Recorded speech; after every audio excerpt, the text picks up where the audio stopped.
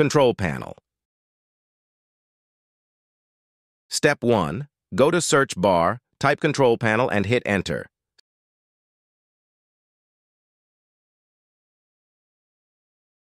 Step 2. Navigate to Devices and Printers and find your mobile device.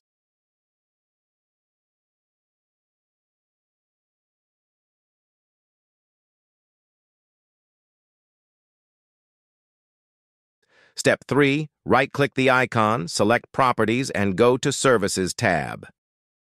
Step 4. Uncheck Map, SMS, MMS, Windows Troubleshooter. Step 1.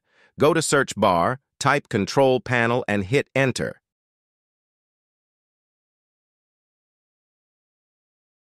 Step 2. Choose Troubleshooting, and on the left side of the Windows, choose the View All option.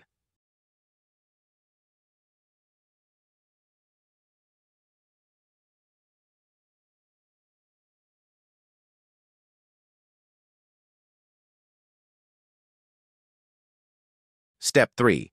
Choose Hardware and Devices and click on Next. Step 4. Follow the on-screen instructions. Update driver. Step 1. Press Windows plus X, then select Device Manager.